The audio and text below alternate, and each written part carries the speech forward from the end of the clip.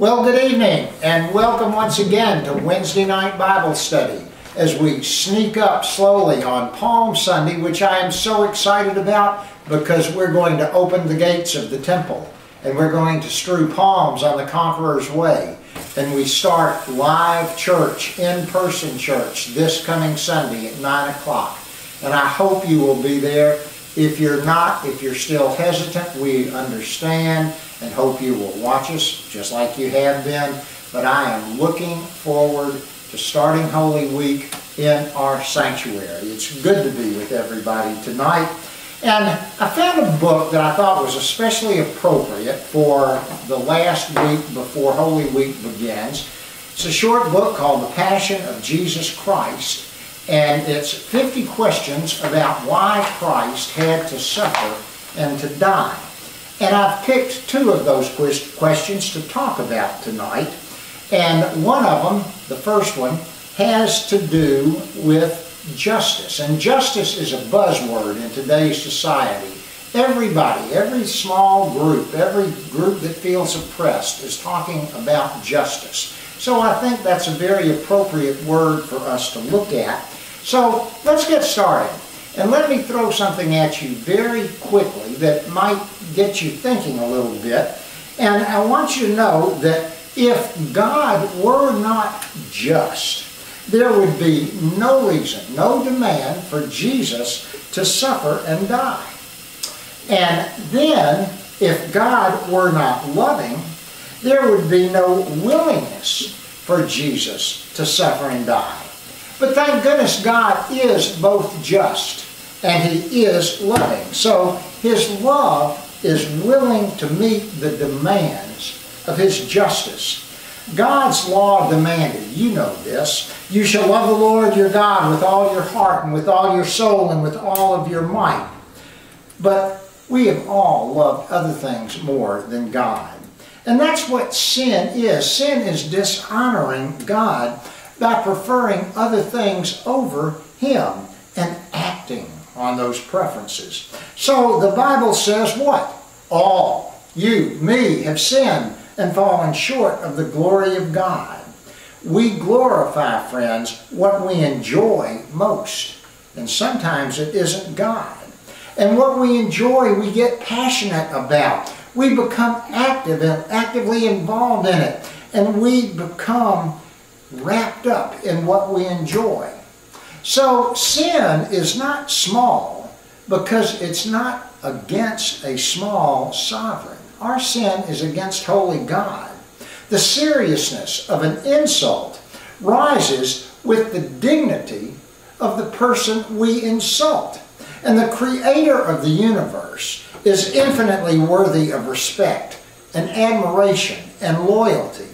Our respect, admiration, and loyalty. So, failure to love him isn't trivial. It's not something to just poo-poo.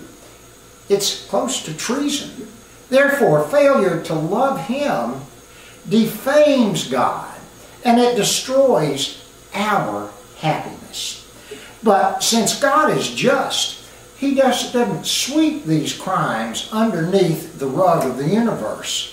He feels this holy wrath, this anger against them. They deserve to be punished. And he has made it clear in the book of Romans where Paul tells us the wages of sin is death. And then Ezekiel, the prophet says, the soul who sins shall die. That's pretty clear, pretty clear. There's this holy curse, if you will, hanging over all of sin.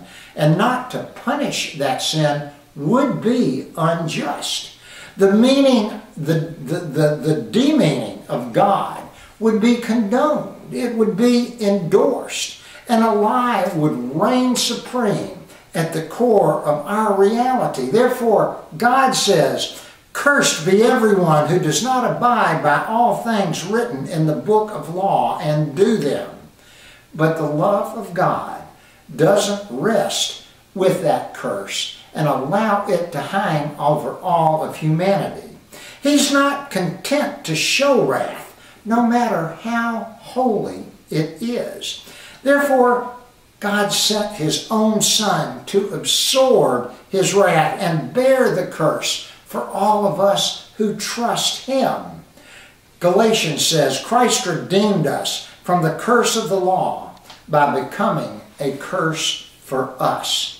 And that's the meaning of this theological word we use sometime, propitiation, in the text that we quoted a minute ago from Romans. And it refers to the removal of God's wrath and providing a substitute for it. And the substitute is provided by God Himself, and the substitute is Jesus, His Son.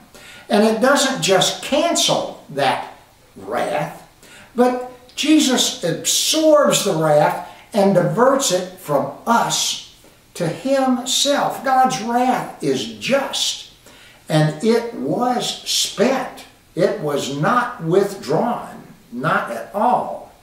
So we could, shouldn't trifle with God, or we shouldn't trivialize His love. We'll never stand in awe of being loved by God until we reckon or till we deal with the seriousness of our sin and the justice of His wrath against us.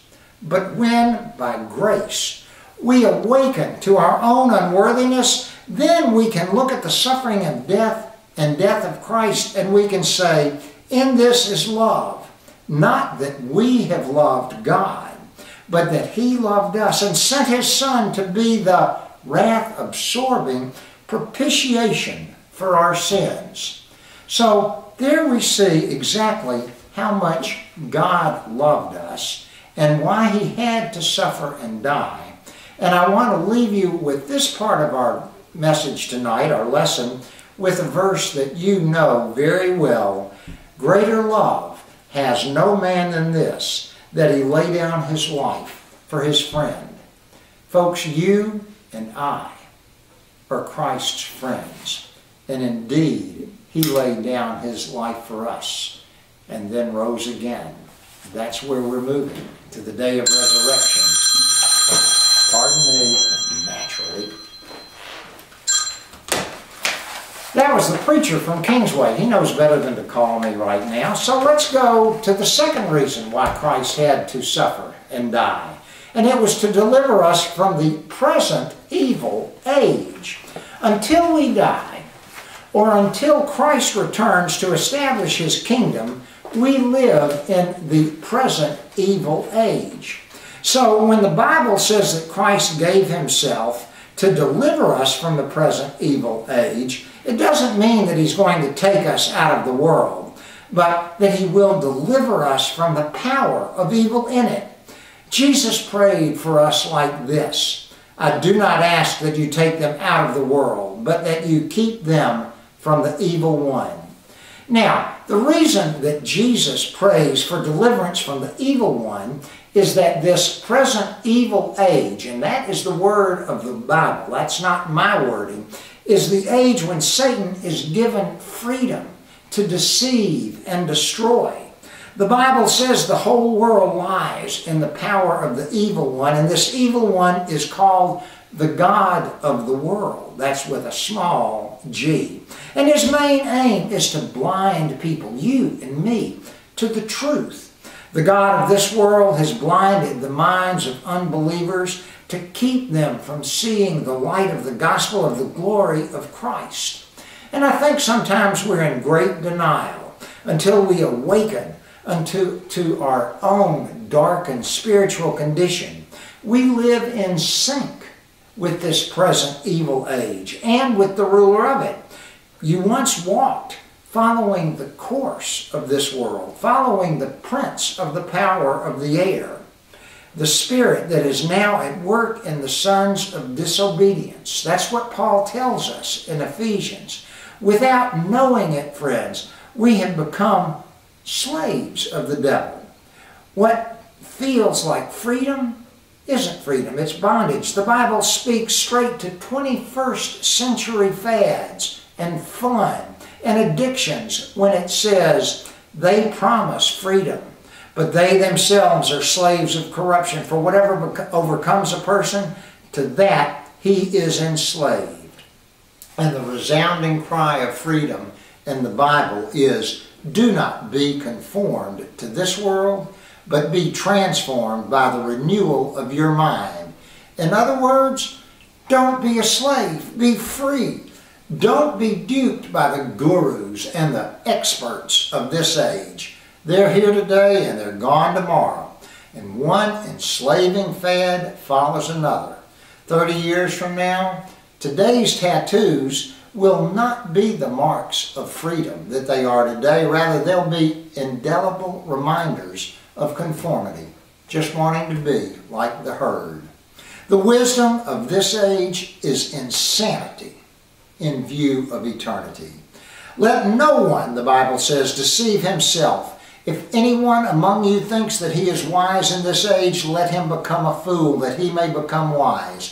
For the wisdom of this world is folly with God. Friends, when Christ went to the cross, he set millions millions and millions of captives free. He unmasked the fraud that the devil threw at us and broke his power. That's what he meant on the night before his crucifixion when he said, Now will the ruler of this world be cast out. Folks, don't follow a foe that has been defeated.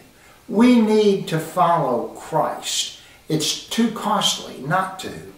We might be an exile in this age. We might be ostracized. We might be shunned for being a child of God and for following Christ. But I can guarantee you this. You'll never be a slave to sin, and we will be free when we do the things that Christ expects of us. So, two things that we need to know why Jesus had to suffer and die. It's a question I've been asked by teenagers for the last 40 years when I was doing youth work. It's a question I think many of us might ask ourselves. He has all the power in the world. Why did he have to suffer and die? Well, he had to suffer and die so that we could have eternal life. No question about it. I am so excited about this coming Sunday and the opportunity to worship in-house with you and see faces in front of me, smiling faces.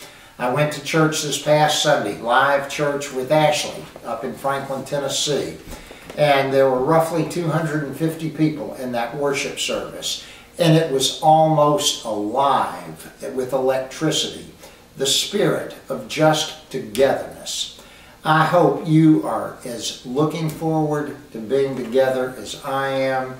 Wear your mask. We will socially distance. We'll do everything that we're supposed to do. And we will praise God together on Palm Sunday we will process in, weather allowing. We will carry palms and we will shout, Hosanna.